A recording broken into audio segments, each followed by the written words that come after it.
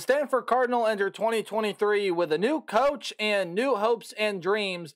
However, it may take a while for Troy Taylor to start building this program back up. He's got a lot of work to do. There's a lot of talent leaving this roster, not a lot of transfers coming in to replace it, and a very, very tough conference to play in this year with the high level of competition that is in the Pac 12 this season. So can Stanford and Troy Taylor be a little bit of surprise team here in 2023 and maybe even break their way into the postseason?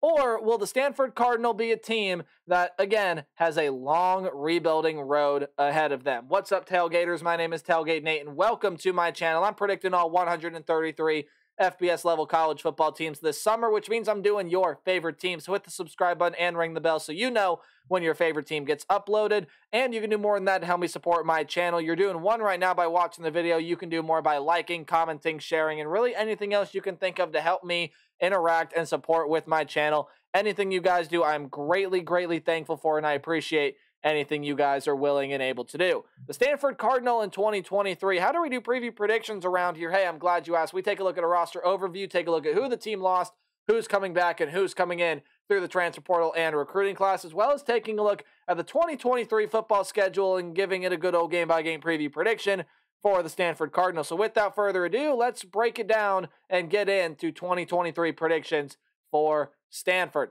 again, if my PowerPoint slide would transition. There it goes. Quarterback room. I know the text is a little hard to see. I do apologize. Uh, you do lose Tanner McKee, who was in that uh, quarterback room. He's gone, I believe, off to the NFL. 2,947 yards, 13 touchdowns, 8 interceptions on 62% completion percentage. Yes, the numbers do not jump out at you, but raw talent wise, he was a pretty good quarterback, and he will be missed by this Cardinal team. Uh, who do you return? Well, you do have some two. You do have two guys returning that threw some passes last year, albeit none of them threw over nine passes. Ari Patu threw nine passes, did have two touchdowns, and Ashton Daniels is coming back there as well. Which honestly, uh, Stanford fans, you can let me know who's winning that quarterback battle in the comment section below. I believe it should go to Ari Patu. I believe he does give Troy Taylor's club their best chance for success. Uh, but honestly, I'm not super high on either of them. I do believe Ari Patu is the better of the two. Uh, so we'll see what ends up happening there with the quarterback room for the Stanford Cardinal. In the running back room, well, hey, some good news here. You do return your top two leading rushers from last season in Casey Filkins and EJ Smith. Uh, 478 yards, four touchdowns for Filkins, and 206 yards and three touchdowns for Smith. In the wide receiver room, you do lose some good talent here as well. As uh, Michael Wilson and Brycen Tremayne are going to be gone, as well as Higgins, uh, your leading receiver uh, from last season, 704 yards and two touchdowns. Uh, he was actually more of a tight end type player. You see him in my tight end slot. He was a tight end uh, wide receiver player, but regardless, you do lose Elijah Higgins, who was your leading receiver last year, as well as, of course, Wilson, who was your third leading receiver, and Tremayne, who was your second leading receiver. Or sorry, Wilson, your fourth leading receiver. My apologies. John Humphreys does come back at 348 yards and a touchdown last year, as well as Mudia Reuben, uh, who was down the list of ways in, in terms of uh, wide receivers last year.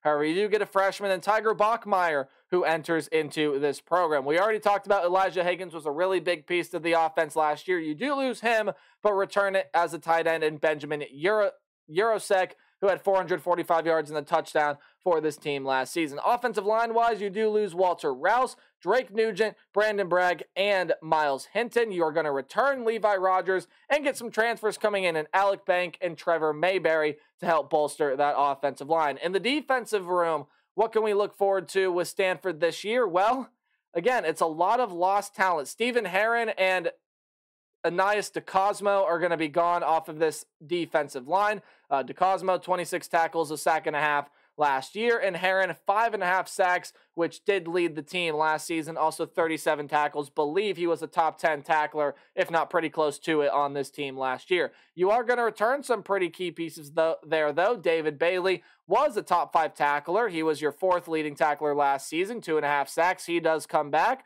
uh, as well as returning uh, Tobin Phillips and Lance Keneley there as well. So some solid pieces on the defensive line returning for Stanford. In the linebacker room, uh, you are going to uh, lose, I should say, your fifth leading tackler from last year in Jacob Mangum Farrar. Uh, Levani Damuni is also going to be gone. He was your leading tackler last year, had 76 tackles for this team last year. And Ricky Miezan is also gone off this linebacking grouping, had 45 tackles last year, again, tied for fifth on the team with Mangum Farrar and four sacks for him last season. Who do you return? Tristan Sinclair, Spencer Jorgensen will both come back, and you get a transfer coming over in Gaethan Bernadel uh, coming into this program. Uh, he's a transfer coming over from FIU, a three star rated transfer, according to 24 7. In the defensive back grouping, again, a lot of talent gone here as well. Kyu Blu Kelly, very, very good player. Six passes defended, 35 tackles last season. Kendall Williamson uh, had two pass defended, an interception, and was tied for your second leading tackler last season. Uh, you also are going to be losing guys by the name of Ethan Bonner. Jonathan McGill also is lost. McGill was your second leading tackler last year, or I guess tied with it with Williamson with 51 tackles. Uh, and then Pat Fields uh, is gone as well. 42 tackles, two sacks in the pass defended last season. Who do you return? Alakai Gilman, uh, Omari Porter, and Scotty Edwards do come back to this team. So, again, some solid talent, but really not a whole lot to work with here for your new head coach in Troy Taylor. Not a lot of transfers coming in to help bolster this roster. I think it's going to be a bit of a real rebuilding process when you take this at this roster for the Stanford Cardinal. Your head coach is Troy Taylor, offensive coordinator is Tavita Pritchard, and your defensive coordinator is Bobby April as we take a look at the schedule for the Cardinal in 2023. Any game at home is going to be underlined, any game in italics or the slanted text is a game the Cardinal will play on the road. Any game in green is a game I have the Cardinal being able to win. Any game in yellow is a game where, hey, okay, the other team puts up a fight, but the Cardinal are going to be able to win, and red is a loss. So without further ado, let's preview predict Stanford football in 2023, starting out with a road game against Hawaii. Now, I, am just going to put my prediction up on the screen here. Uh, Hawaii was just was was not a great football team last year. Tommy Chang ended up uh, coming in, I believe that is his name, as that uh, head coach, and he's got a rebuilding process of his own to do with the Hawaii Rainbow Warriors to try to get back them back into the postseason in 2023.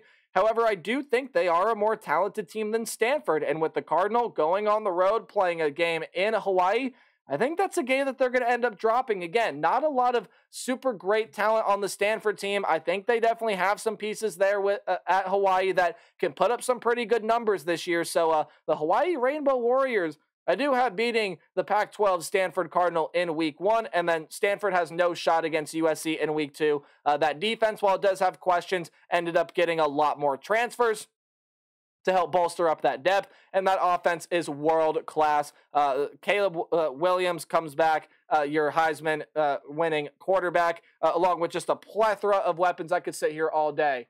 Uh, and be able to name some players, but USC is really, or I should say, Stanford really has no shot against USC in 2023. However, I do think Stanford is going to get a win here against Sacramento State, who was Troy Taylor's former program. Now, while the Hornets, I do believe, is going to keep this one close, I think Troy Taylor is going to be motivated, is going to be uh, looking to go ahead and try and win this game here uh, for pride's sake. And, uh, and obviously, Stanford, I think, is going to be the more talented team, especially without Troy Taylor at Sacramento State. Uh, he was a phenomenal head coach for them last season. And without him, I don't think Sacramento State's going to be quite as good as a team. So Stanford does get a win here. And then you dive into more Pac 12 games. I think you're going to lose to Arizona. And while that team does have a lot to be replaced on the defensive side, the offense should be enough to be able to get past this Stanford defense, right? And I don't think the offense of Stanford is going to be able to put up enough points uh, to be able to uh, uh, match what Arizona is going to put up with Jayden de Laura. Some really good weapons in that wide receiver room.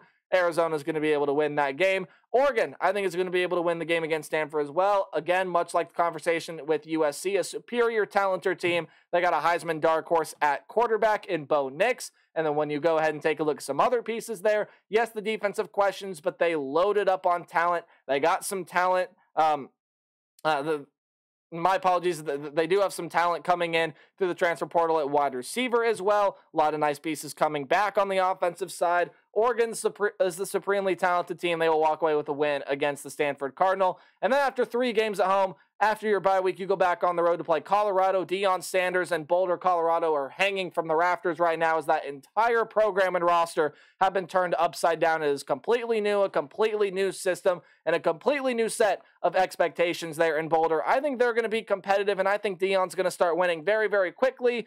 I just think a lot of these players need a year to adjust to maybe some of them not only the Power Five level, but to the Deion Sanders system, and Colorado uh, will start winning. Granted, that could be a very heavy sleeper team this year. Hard to predict Colorado this season, one of the hardest teams to predict. I believe I forgot to mention that in, like, in my Colorado video.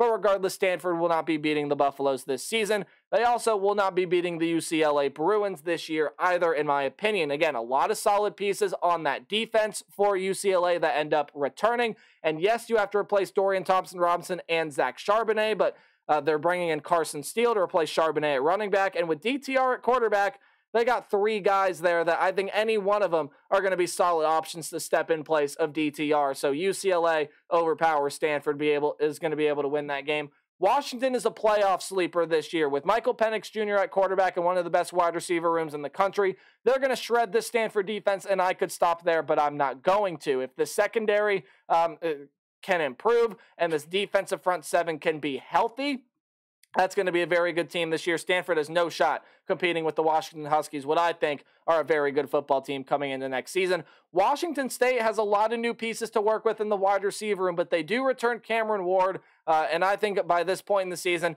a lot of connections are going to be made with that wide receiver room. And Stanford, I don't think uh, defense is going to keep up, especially with all they lose in the secondary. Uh, and there are just some uh, again, this entire roster up and down for Stanford is just iffy, right? There's not like uh, any one good, true, solid pieces. There's no really any star power on this team. I'll probably mention that a lot later. Uh, I think they're going to lose to Washington State. I think they're going to lose to Oregon State as well. That's a potential sleeper team in the Pac 12 to try to get to Las Vegas. I think they have serious hopes of getting to a Pac 12 championship as well. DJ Uiagalelei coming in there to be that quarterback transferring over from Clemson. And then when you take a look at Damien Martinez, he is a stud at running back. They've got a lot of other good pieces on offense. Defensively, yes, they've got some holes to fill with guys leaving to uh, the NFL and to the transfer portal and some other areas as well. Uh, but Oregon State has got all the talent in the world to be a very, very good football team, and I think they're going to be able to easily beat the Stanford Cardinal, as will the Cal Golden Bears. That's a very, very talented team